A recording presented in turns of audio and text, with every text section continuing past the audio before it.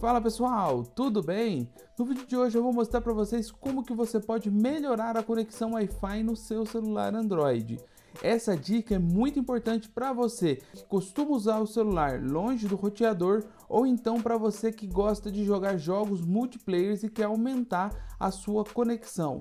Essa dica ela pode ser muito útil, mas antes de eu mostrar ela para vocês, eu peço se você ainda não for inscrito aqui no canal, que você se inscreva para poder estar recebendo nosso conteúdo que é atualizado durante toda semana e que também curta e compartilhe esse vídeo com seus amigos. E se der certo, se a sua conexão melhorar, deixa um comentário aqui embaixo.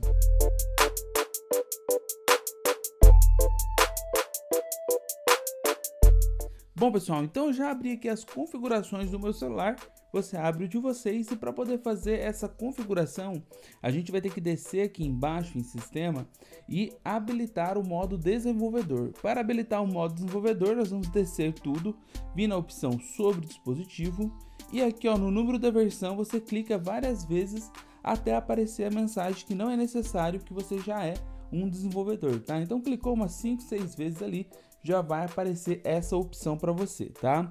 Com ela habilitada, você volta e você vai encontrar aqui, ó, um campo chama opções de desenvolvedor.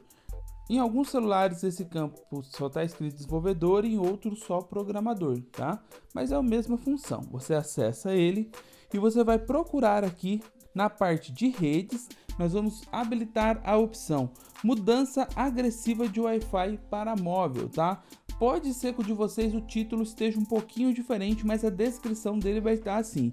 Quando ativado, o Wi-Fi será mais agressivo em passar a conexão de dados para móvel, quando o sinal Wi-Fi estiver fraco, tá? Então você habilita essa opção, que só de você habilitar essa opção, a sua conexão com Wi-Fi já vai estar melhorada, vai estar otimizada. Provavelmente quando você fizer isso, você vai ter um gasto a mais de bateria, tá? Porque lógico, se você está forçando o Wi-Fi, logicamente você vai gastar um pouco mais de bateria.